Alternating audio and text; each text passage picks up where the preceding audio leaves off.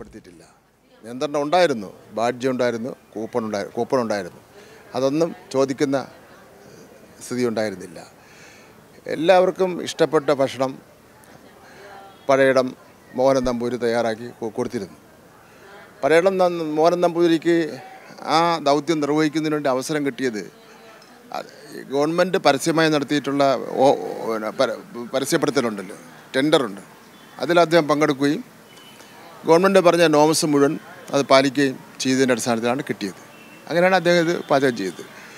ഇവിടെ സംസ്ഥാന സ്കൂൾ പിന്നെ കായികമേള അത് അദ്ദേഹമാണ് പാചകം ചെയ്തിരുന്നത്. അതിൽ വെജിറ്റേറിയനും നോൺ വെജിറ്റേറിയനും കൊടുത്തിരുന്നു. സ്കൂൾ കലോത്സവത്തിൽ ഇത്രയും വലിയ പതിനാലായിരം പാർട്ടിസിപ്പൻസ് ഇതിനുണ്ട് ഒഫീഷ്യൽസ് എല്ലാം കൂടെ ചേരുമ്പോൾ ഒരു ഇരുപതിനായിരം പേരെങ്കിലും മിനിമം ഉണ്ടാവും. അപ്പം ഞാനവിടെ ചെന്ന ശേഷമാണ് ഒരു നോണിന്റെ ആശയം ഈ സോഷ്യൽ മീഡിയയിലൊക്കെ മെല്ലെ ചർച്ച ചെയ്ത് വന്നത്. ഞങ്ങളൊന്ന് പരിശോധിച്ചു. പരിശോധിച്ച് നോക്കിയപ്പോൾ അത് കൊടുക്കാൻ വേണ്ടി ഇത്ര ഷോർട്ട് ടൈമിൽ കൊടുക്കാൻ വേണ്ടി പ്രയാസമാണെന്ന് പറഞ്ഞു.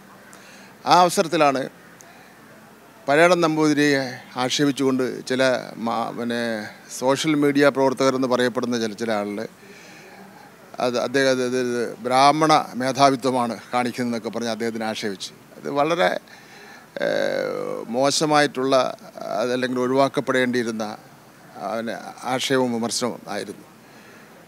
അദ്ദേഹത്തെ പോലെ ഒരു മനുഷ്യൻ അങ്ങനെ ആക്ഷേപം നടത്തി നടത്തേണ്ട കാര്യം എന്താ? അപ്പം അത് പിന്നെ അദ്ദേഹം അദ്ദേഹം അത് അത്ര ഗൗരവമായിട്ടും വിഷമമായിട്ടും എടുത്തിട്ടുണ്ടാവും ഒരു പക്ഷേ. ഞാൻ പറയുന്നത് കേരളത്തിലെ മൂന്ന് കേരളത്തിലെ ജനങ്ങൾ ഉണ്ടല്ലോ വലിയ നമ്പർ ജനങ്ങളുണ്ടല്ലോ അതിൽ ഒന്ന് ഒന്നോ രണ്ടോ പേര് പറയുന്നത് കേട്ടുകൊണ്ട് മാത്രം അദ്ദേഹം ഒരു നിലപാട് മാറ്റേണ്ട കാര്യമൊന്നുമില്ല. പിന്നെ അതിൽ പങ്കെടുക്കണോ വേണ്ടേ തീരുമാനിക്കേണ്ട അദ്ദേഹമാണ്. എന്നാൽ ഗവൺമെന്റിന് മാൻഡേറ്റ് കൊടുത്ത് പങ്കെടുപ്പിക്കാൻ വേണ്ടി പറ്റില്ല പങ്കെടുക്കണോ വേണ്ടേ തീരുമാനിക്കേണ്ട അദ്ദേ- അദ്ദേഹമാണ്. അപ്പം അതിൽ ഇതിലൊരു വിവാദമേ ഇല്ല. ഒരു വിവാദമില്ല പിന്നെ ഇത് ഇത് ഏഴ് ദിവസക്കാലം ഒരു പരാതിയുമില്ലാതെ നടത്തി പിന്നെ മത്സരം ഫലപ്രഖ്യാപനത്തിൽ ഒരു പരാതിയില്ല. അക്കോമഡേഷൻ ഒരു പരാതിയില്ല. കൃത്യസമയത്ത് തന്നെ നടത്തി. അതിനെ സംബന്ധിച്ചിടത്തോളം ഈ വിമർശകർ ഒരു വാക്ക് പറയുന്നില്ല. പ- പഴയടം നമ്പൂതിരിയുടെ പരേടം നമ്പൂതിരിയാണോ പിന്നെ വേറെ ഏതെങ്കിലും സമുദായത്തിൽപ്പെട്ടാണോ എന്ന് നോക്കി അതിനെപ്പറ്റി വിമർശനം നടത്താനാണ് ഈ ധീര വിപ്ലവകാരികൾ തയ്യാറാക്കിയിരിക്കുന്നത്. അതൊന്നും നമ്മൾ ഗൗരവമായി എടുക്കുന്നേ ഇല്ല ഈ വിഷയത്തിൽ എന്തായാലും അദ്ദേഹവുമായി സർക്കാർ ആ, അല്ല സർക്കാർ അദ്ദേഹത്തിന് സംസാരിക്കേണ്ട കാര്യമില്ല. അടുത്ത യുവജനോത്സവം വരുന്ന സമയത്ത് ടെൻഡർ ചെയ്യും. ആ സമയത്ത് സൗകര്യമുള്ളവർ പങ്കെടുക്കുക.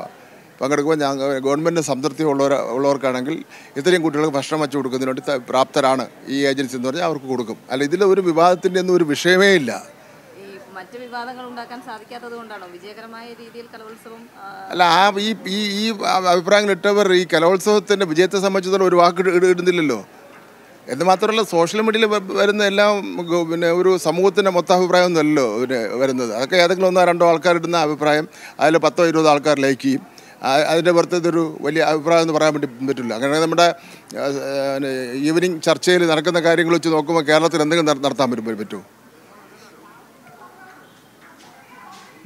മന്ത്രി വി. ശിവൻകുട്ടി പ്രതികരിക്കുകയായിരുന്നു. പഴയിടം മോഹനൻ നമ്പൂതിരി കലോത്സവത്തിന് ഇനി ഭക്ഷണം ഉണ്ടാക്കുന്നില്ല എന്ന് പ്രതികരിച്ചതിന്റെ ഭാഗം അതുമായി ബന്ധപ്പെട്ടാണ് അദ്ദേഹം സംസാരിച്ചത്.